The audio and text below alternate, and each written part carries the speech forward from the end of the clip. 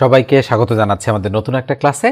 দেখো, আমরা ধারাবাহিকভাবে প্রাথমিক বিদ্যালয়ের সহকারী শিক্ষক নিয়োগ পরীক্ষার প্রশ্ন সমাধান করছি গণিত অংশের।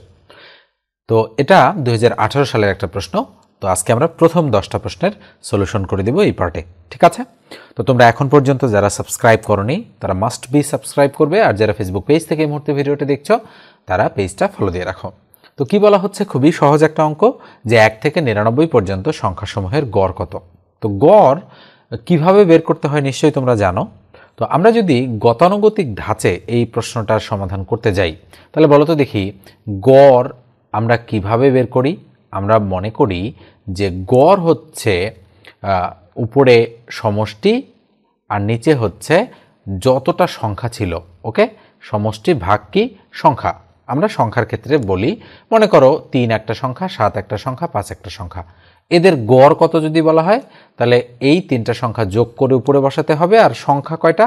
তিনটা, নিচে তিন বসাতে হবে। তার মানে আমরা বসাবো তিন আর সাত কত হয়? দশ আর পাঁচে পনেরো। তার মানে উপরে পনেরো, তার নিচে কত? সংখ্যা তিনটা, তার মানে তিন। তাহলে গড় হচ্ছে পাঁচ।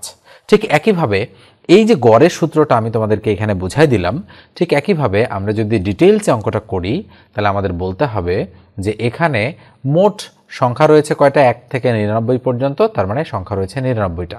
তার মানে নিরানব্বই লিখলাম। আর এই সমষ্টি যেহেতু বের করতে হবে, তাই আমরা সমষ্টি বের করতেছি। তাহলে এক যোগ দুই যোগ তিন যোগ ডট ডট ডট যোগ নিরানব্বই। তাহলে এর সমষ্টি বের করার সূত্র কি? N into n plus one divided by two okay একটু বাংলা ইংরেজি মিশ্রিত হচ্ছে, তোমরা একটু বুঝে নেবে। এন মানে সর্বশেষ পদটা। তার মানে ninety nine into ninety nine plus কত? One divided by two equal উপরে নিরানব্বই গুণন নিরানব্বই আর একে কত? একশো। ভাগ হচ্ছে দুই। কাটাকাটি করলে কত হয়? পঞ্চাশ। তার মানে পঞ্চাশ দিয়ে নিরানব্বইকে গুণ করলে কত হয় বলো তো দেখি? পাঁচ নং পঁয়তাল্লিশের পাঁচ, হাতে কত? চার পাঁচ নয় পঁয়তাল্লিশের চারে উনপঞ্চাশ তার মানে চার হাজার নয়শো পঞ্চাশ। তাহলে উপরে হবে চার হাজার নয়শো পঞ্চাশ। এখন যদি আমরা চার হাজার নয়শো পঞ্চাশকে নিরানব্বই দ্বারা ভাগ করি, তাহলে ফলাফল হবে কত? ফলাফল হবে পঞ্চাশ। আমি একটু ভাগ করে দেখি ক্যালকুলেটারে কত আসে, তোমরা কিন্তু ক্যালকুলেটর ব্যবহার করতে পারবে না। তো যাই হোক আমি তোমাদের সুপার শর্টকাট একটা মেথড শেখাই দিব এই অঙ্কটা করার জন্য। তো তোমরা একটু এটাকে এটা দিয়ে ভাগ করে দেখো যে কত ফলাফল আসে। ঠিক আছে?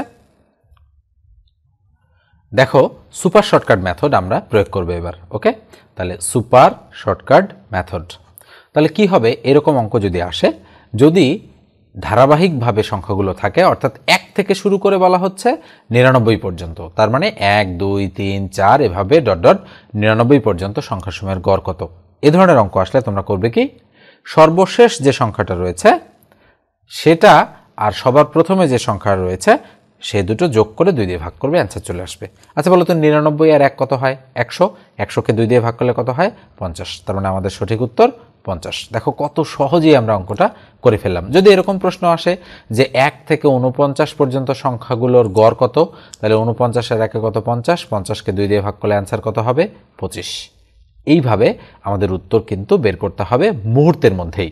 নিশ্চয়ই বুঝতে পেরেছ?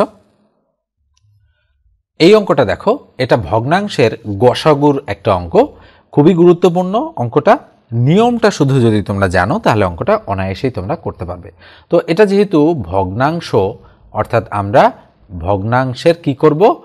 গসাগু করব। তাহলে ভগ্নাংশের গসাগু করার নিয়মটা আমাদের শুরুতে জানতে হবে। নিয়মটা কি? নিয়মটা হচ্ছে, দেখো, লবগুলোর গসাগু করতে হবে। আমি বলছি, লব এর কি করতে হবে? গসাগু। মনে রাখতে হবে, লবের গসাগু করতে হবে আর হর এর কি করতে হবে? লসাগু করতে হবে। লসাগু। ঠিক আছে? তাহলে লবের গসাগু আর হরের লসাগু। তাহলে লব কোনগুলো? উপরেরগুলো লব। তাহলে লব লব লব। লবগুলোর কি করতে হবে? গসাগু। তার মানে তিন, চার আর পাঁচ। এদের গসাগু কত? গসাগু এক। আমরা বলতে পারি নিশ্চিতভাবেই বলতে পারি, যেহেতু কোনোটা দিয়েই কোনোটাকে ভাগ যাচ্ছে না, তার মানে আমরা বলতে পারি এদের গসাগু কত? গসাগু হচ্ছে এক। আমরা একটু ভাগ করে দেখি। তিন দিয়ে চারকে ভাগ করলে তিন একে তিন। থাকে কত? এক। এক দিয়ে তিনকে ভাগ করলে কত হয়? তিন একে তিন। তার মানে এই এক, তাহলে এক দিয়ে যদি আমরা পাঁচকে ভাগ করি, তাহলে পাঁচ একে কত? পাঁচ। তার মানে আমাদের নির্ণয় গসাগু কত? এক। তাহলে আমরা বুঝতেই পারতেছি যে তিনটা সংখ্যার গসগু কত? এক। তার মানে এ, লবগুলোর গসগু কত? এক। এবার আসো হরের লসাগু। তাহলে হর কি কি? হর তো নিচেরটা, তার মানে চার, পাঁচ এবং ছয়। তাহলে চার, পাঁচ এবং ছয়, এদের কি? এদের লসাগু। তাহলে দুই দিয়ে যায়, দুই দুগুণ চার, তাহলে পাঁচ, তিন দুগুণ কত? ছয়। তিন পাঁচে পনেরো পনেরো দুগুণ তিরিশ তিরিশ দুগুণ ষাট। তাহলে বলো তো হরগুলোর লসাগু কত? ষাট। তার মানে আমরা এবার ভগ্নাংশের গসাগু বের করব কীভাবে? সুতরাং উপরে লিখব আমরা লবগুলোর গসাগু আর নিচে লিখব আমরা হরগুলোর লসাগু। ঠিক আছে? তার মানে লবগুলোর গসাগু কত? এক। আর হরগুলোর লসাগু কত? ষাট। তার মানে অ্যান্সার হবে এক ভাগ ষাট। তার মানে গ নম্বর অ্যান্সারটা এক্ষেত্রে আমাদের কিন্তু রাইট দেখো জাস্ট এই নিয়মটা তোমাদের একটু ভালোভাবে জেনে রাখতে হবে, তাহলেই তোমরা অঙ্কটা করে ফেলতে পারবে। তিন নম্বর অঙ্কটা দেখো, বলা হচ্ছে কি, ছয় হাজার পাঁচশো আটান্ন এর সাথে কোন ক্ষুদ্রতম সংখ্যা যোগ করলে যোগফল একটি পূর্ণবর্গ সংখ্যা হবে। তার মানে এই সংখ্যাটার সাথে আমরা এমন, এই যে এখানে যে একটা, দুইটা, তিনটা, চারটা সংখ্যা দেওয়া আছে, একটা জিরো, একটা মাইনাস থ্রি একটা টু একটা থ্রি এই তিনটার যে কোনো একটা যোগ করলে এই সংখ্যাটা, যে সংখ্যাটা তৈরি হবে, সেই সংখ্যাটা কি হবে? পূর্ণবর্গ সংখ্যা হবে। তো আমরা একটু অ্যান্সার চয়েস থেকে যদি প্রশ্নটাতে যাই, তাহলে আমরা যদি এর সাথে ছয় হাজার পাঁচশো আটান্নর সাথে তিন যোগ করি, তাহলে কি হয়? ছয় হাজার পাঁচশো একষট্টি, ওকে? তাহলে আমরা একটু দেখি যে এটা পূর্ণবর্গ কিনা। তাহলে এক জোড়া, দুই জোড়া, আমরা টান দিব। তাহলে আট আটে কত? চৌষট্টি থাকল এক, কেটে নামালাম কত? আচ্ছা এক, আটের ডাবল কত? ষোলো। এখন ষোলো যেহেতু হলো, তাহলে কত হচ্ছে বলো তো দেখি? এই যে একশো একশো একষট্টি হয়ে যাচ্ছে, যেহেতু এক জোড়া কেটে নামাবো, তাহলে এখানে যদি এক, এখানে যদি এক বসাই, তাহলে কত হচ্ছে? একশো একষট্টি। মিলে যাচ্ছে। তার মানে অ্যান্সার কত? অ্যান্সার হচ্ছে কিন্তু একাশি। তার মানে আমরা বুঝতে পারতেছি যে এই ছয় হাজার পাঁচশো আটান্নের সাথে তিন যদি যোগ করি, তাহলে সেটা পূর্ণবর্গ সংখ্যা হচ্ছে ছয় হাজার পাঁচশো একষট্টি। তার মানে ছয় হাজার পাঁচশো একষট্টি একটা কী সংখ্যা? পূর্ণবর্গ। কিন্তু যদি তুমি দুই যোগ করো, পূর্ণবর্গ হবে না। তিন মাইনাস করো, পূর্ণবর্গ হবে না। অর্থাৎ জিরো যোগ করো, অর্থাৎ এই সংখ্যাটা কিন্তু পূর্ণবর্গ সংখ্যা নয়। তার মানে আমরা নিঃসন্দেহে বলতে পারি যে ক নম্বর অ্যান্সারটা এক্ষেত্রে আমাদের কিন্তু রাইট দেখো, একটু অন্যভাবেও আমরা করতে পারি। এটা তো আমি অ্যান্সার চয়েস থেকে দেখালাম। তাহলে আমার অঙ্ক যেহেতু এটা আছে, বলা হচ্ছে যে এত এর সাথে কোন ক্ষুদ্রতম সংখ্যা যোগ করলে যোগফল একটি পূর্ণবর্গ সংখ্যা হবে, তাহলে সেক্ষেত্রে আমরা কি করব? আমরা এখানে একটু হিসাব করব যে ছয় হাজার পাঁচশো আটান্ন। এই সংখ্যাটার সাথে আমরা এরকম করে জোড়া জোড়া মিলায় আটাটে কত করব? চৌষট্টি। কত অবশিষ্ট থাকে? এক। কেটে নামালাম আটের ডাবল কত? আটের ডাবল ষোলো। তাহলে কেটে নামালাম কত? ফিফটি এইট এখন যদি আমি এখানে এক দিই, এখানেও এক দিতে হবে। আচ্ছা বলো তো একষট্টি একে কত বসাইতে হবে? একশো একষট্টি। এখানে যদি আরও তিন বেশি থাকতো, অর্থাৎ একশো একষট্টি হইতে গেলে তো আরও তিন দরকার, তার মানে আরও প্লাস তিন দরকার, তাহলে কিন্তু আমাদের অঙ্কটা মিলে যেত। তার মানে আমাদের আরও তিন কী করতে হবে? যোগ করতে হবে। আমরা এভাবেও বুঝতে পারি, ওকে? এবার আমরা পরেরটাতে চলে যাচ্ছি। দেখো, কি বলা হচ্ছে এখানে যে সাতের গুণিতকের সেট কোন ধরনের সেট? আচ্ছা বলো তো দেখি, গুণিতক জিনিসটা কীভাবে কাজ করে? মনে রাখো, আমি যদি বলি পাঁচ এর গুণিতক, তাহলে কিন্তু হবে প্রথমে পাঁচ। পাঁচ একে পাঁচ, তার মানে পাঁচ দুগুণ দশ, তিন পাঁচে পনেরো, চার তারপরে চার পাঁচে কুড়ি, পাঁচ পাঁচে পাঁচ পাঁচে কত? পঁচিশ। এইভাবে কিন্তু চলতেই থাকবে সংখ্যাগুলো, ডট ডট ডট ডট, চলতেই থাকবে। তার মানে গুণিতক হচ্ছে, যার গুণিতক বের করতে বলবে, সেটা হচ্ছে সবচেয়ে ছোট। বাকিগুলো সব সবচেয়ে বড়। এবং এটা কি কখনো শেষ হবে? পাঁচ পাঁচ করে, কখনো শেষ হবে না। যেহেতু বলছে সাতের গুণিতক, তার মানে সাত, সাতের পরে চোদ্দ, চোদ্দোর পরে একুশ, একুশের পরে আঠাশ, ডট ডট ডট অর্থাৎ এটা চলতেই থাকবে। তাহলে এটার কি কোনো শেষ আছে? নিশ্চয়ই না। তাহলে সাতের গুণিতকের সেট হচ্ছে অবশ্যই একটা অসীম সেট, তার মানে ঘ নম্বর অ্যান্সারটা এক্ষেত্রে রাইট। পাঁচ নম্বর অঙ্কটা দেখো কি বলা হচ্ছে যে শতকরা বার্ষিক কত হার সুদে? কোনো মূলধন পঁচিশ বছরে সুদে মূল্যে চার গুণ হবে। আচ্ছা তাহলে শতকরা বার্ষিক কত হার সুদে? তাহলে আমরা ধরে নিলাম যে আসল কত টাকা? আসল হচ্ছে একশো টাকা। এটা আমরা ধরে নিলাম। তাহলে পঁচিশ বছরে সুদে মূল্যে চার গুণ হওয়ার অর্থ কী? তার মানে আমাদের সুদে মূল্যে মানে সুদে আসলে। তাহলে সুদে আসলে চার গুণ হলে চারশো টাকা হবে। আচ্ছা বলো তো তাহলে এই পঁচিশ বছরের সুদ কত টাকা? নিশ্চয়ই বোঝা যাচ্ছে তিনশো টাকা। তার যেহেতু পঁচিশ বছরে চার গুণ হয়েছে, তার মানে পঁচিশ বছরে সুদ বেড়েছে তিনশো টাকা। তাহলে আমরা যদি যে তিনশো টাকা সুদ বেড়েছে, তাকে যদি আমরা পঁচিশ দ্বারা ভাগ করি, তাহলে প্রতি বছরে সুদ পাবো। তাহলে পঁচিশ দিয়ে কাটলে পঁচিশ একে পঁচিশ, থাকে কত? পাঁচ, পঞ্চাশ, তাহলে পঁচিশ দুগুণ পঞ্চাশ, তাহলে কত শতাংশ? বারো শতাংশ। তার মানে আমাদের সঠিক উত্তর, বারো পার্সেন্ট।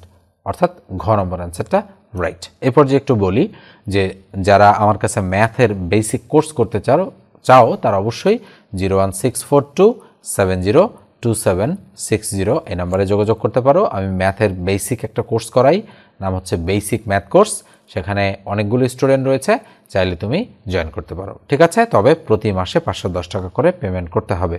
এবং নিবন্ধন পরীক্ষা প্রাইমারি সহকারী শিক্ষক নিয়োগ পরীক্ষা, পাশাপাশি বিসিএস প্রিলিমিনারি এই সিলেবাসটা তোমাদেরকে কমপ্লিট করে দেওয়া হবে এবং অনলি ম্যাথ ওকে ম্যাথ যদি ভালোভাবে শিখতে চাও, তাহলেই কেবল তোমরা জয়েন করতে পারো। এবার আমরা পরেরটাতে চলে যাচ্ছি। এই অঙ্কটা দেখো। একটু গতানুগতিক ধাঁচের একটু বাইরে গিয়ে অঙ্কটা দেওয়া হয়েছে, তাহলে আমরা একটু লিখি x inverse minus zero point zero zero one equal to zero হলে কিসের মান? X square equal to what তাহলে বলো তো দেখি এটা ওয়ান বাই এক্স কিউব লেখা যায় কিনা? নিশ্চয়ই যায়। Minus zero point zero zero zero one মানে কি?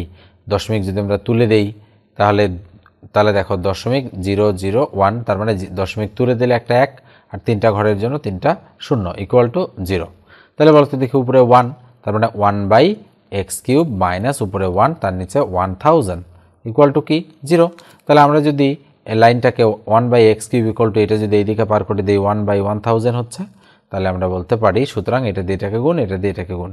তাহলে x cube equal to one thousand তার মানে আমরা বলতে পারি এক্স কিউব ইকুয়াল টেনের উপরে কিউব দেখো তো দেখি টেনের উপর কিউব দিলে ওয়ান থাউজেন্ড হয় কিনা? নিশ্চয়ই হয়। তার মানে এই কিউব এই কিউব বাদ যাচ্ছে। সুতরাং আমরা বলতে পারি এক্সের মান কত? টেন দেখো কি বলা হচ্ছে? বলা হচ্ছে x square minus three x plus two এর একটি উৎপাদক নিচের কোনটা ওকে তাহলে আমরা নর্মাল ওয়েতে অঙ্কটা করি। তাহলে আমরা কীভাবে করব? আমরা লিখব এক্স কিউব মাইনাস সরি কী ছিল এটা? এক্স স্কোয়ার ছিল।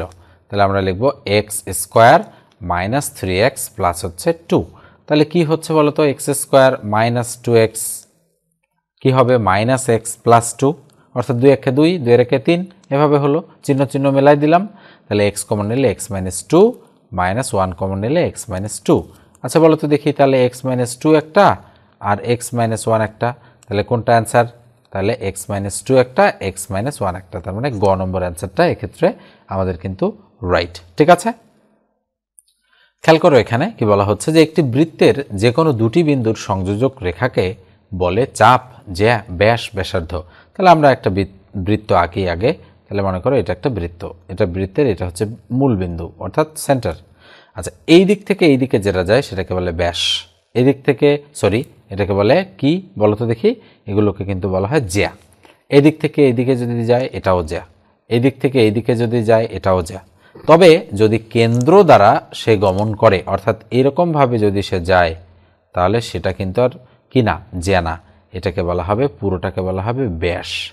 আর অর্ধেকটাকে বলা হবে কি? ব্যাসার্ধ। ওকে? কি বলা হবে? ব্যাসার্ধ। আর এই যে কেন্দ্র দিয়ে যেগুলো যাবে না, লাইন, সেগুলোকে বলা হয় কি? সেগুলোকেই কিন্তু বলা হচ্ছে জ্যা। মনে মনে থাকবে? যে কেন্দ্র ছাড়া অন্য কোনো লাইন যদি হয়, তাহলে সেগুলোকে আমরা কী হিসেবে কল্পনা করব? জ্যা হিসেবে কল্পনা করব। ঠিক আছে? এরপর আমরা হচ্ছে পরেরটাতে চলে যাব। তো তার আগে একটু বলে নেই এখানে যে একটি বৃত্তের যে কোনো দুটি বিন্দুর সংযোজক রেখাকে কি বলা হয়? রেখাকে বলা হয় কিন্তু যে অর্থাৎ খ নম্বর অ্যান্সারটা এক্ষেত্রে আমাদের কিন্তু রাইট এই অঙ্কটা দেখো কি বলা হচ্ছে যে এক মিলিমিটার এক কিলোমিটারের কত অংশ। আচ্ছা আমরা এটা তো জানি যে এক কিলোমিটার মানে এক হাজার মিটার। নিশ্চয়ই তোমরা জানো যে এক কিলোমিটার হচ্ছে এক হাজার মিটার। আবার এক মিটার মানে কিন্তু আমাদের কত বলো তো দেখি? এক মিটার মানে কিন্তু এক হাজার কি মিটার? মিলিমিটার। এক হাজার মিলিমিটার। তাহলে আমরা বলতে পারি যে এক এক মিলিমিটার এক কিলোমিটারের কত অংশ? ওকে? তাহলে আমরা এটা এখান থেকে বলতে পারি যে এখানে এক কিলোমিটার মানে কত মিলিমিটার? তাহলে এক হাজার গুণ এক হাজার। তাহলে আমরা এক হাজার গুণন এক হাজারে দুটো গুণ করব। তাহলে এক হাজার এক হাজার গুণ করলে কয়টা শূন্য হয়? ছটা শূন্য হচ্ছে? তাহলে একক দশক, শতক, হাজার অযুত লক্ষ নিযুত মানে দশ লক্ষ হচ্ছে। তার মানে এখন আমরা বলব যে এক মিলিমিটার, এক কিলোমিটারের কত অংশ? তার মানে আমরা বলতে পারি যে এখানে উপরে হচ্ছে একটা এক আর নিচে হচ্ছে ছয়টা শূন্য। এইভাবে আমরা এটা বলতে পারি যে এক মিলিমিটার, এক কিলোমিটার কত অংশ? এক ভাগ দশ লাখ অংশ। ঠিক আছে? তার মানে ঘ নম্বর আনসারটা এক্ষেত্রে কিন্তু আমাদের রাইট দেখো দশ নম্বর অঙ্কটাতে কি বলা হচ্ছে যে, রেল লাইনের পাশে একটি তালগাছ রয়েছে, ঘন্টায় পঁয়তাল্লিশ কিলোমিটার বেগে ধাবমান, একশো পঞ্চাশ মিটার লম্বা একটি ট্রেন, কত সময় ওই তালগাছটি অতিক্রম করবে? কয়েকটা গুরুত্বপূর্ণ জিনিস দেওয়া রয়েছে, বলা হচ্ছে যে, রেল লাইনের পাশে একটি তালগাছ আছে। তো ধরো, এটা একটা তালগাছ। রেল লাইনের পাশে রয়েছে, যে ঘন্টায় কত কিলোমিটার বেগে যাচ্ছে? ঘন্টায় পঁয়তাল্লিশ কিলোমিটার বেগে যাচ্ছে। ওকে? তো ঘন্টায় পঁয়তাল্লিশ কিলোমিটার অর্থ কি? যদি আমরা কিলোমিটারকে মিটারে প্রকাশ করি, তাহলে আমরা বলব পঁয়তাল্লিশ হাজার মিটার। ওকে? কত মিটার? পঁয়তাল্লিশ হাজার মিটার। এটা আমরা লিখে ফেললাম। যেহেতু একশো পঞ্চাশ মিটার ট্রেন রয়েছে, তাহলে ট্রেনের সাথে যেহেতু মিটার রয়েছে, তাই আমরা এই কিলোমিটারটাকে মিটার করে নিলাম। তাহলে আমরা এবার বলব, এই যে যেহেতু ঘন্টায় বলেছে, তাহলে এক ঘণ্টা মানে ষাট মিনিট, আর ষাট মিনিট মানে ছত্রিশশো সেকেন্ড। তাহলে আমরা এটা বলতে পারি যে পঁয়তাল্লিশ কিলোমিটার যায় কয় ঘন্টায়? এক ঘন্টায় এটা আমরা নিশ্চিতভাবেই বলতে পারি। এবার পঁয়তাল্লিশ কিলোমিটার যায় এক ঘন্টায় না বলে আমরা এটাও বলতে পারি যে পঁয়তাল্লিশ হাজার কিলোমিটার যায় কয় সেকেন্ডে? ছত্রিশশো সরি ছত্রিশশো সেকেন্ডে।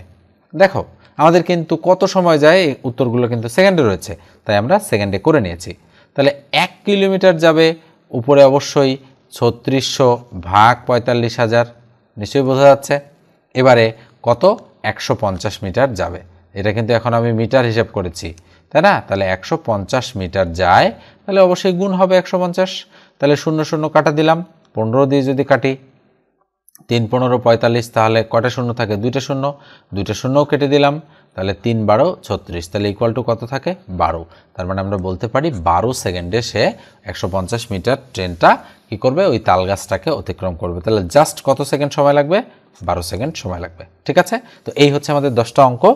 তো আমি হচ্ছে জেগে ভিডিওটা বানাচ্ছি। কোথাও যদি কথার কোনো প্রবলেম হয়, তোমরা ক্ষমা সুন্দর দৃষ্টিতে দেখবে। আর যারা আমার কাছে পড়তে চাও, তারা অবশ্যই অবশ্যই zero one six four two seven zero two seven six zero এই নাম্বারে আমার সাথে যোগাযোগ করবে। এই নাম্বারে হোয়াটসঅ্যাপও খোলা রয়েছে। ঠিক আছে? পড়তে চাইলে নক দিতে পারো। ধন্যবাদ সবাইকে।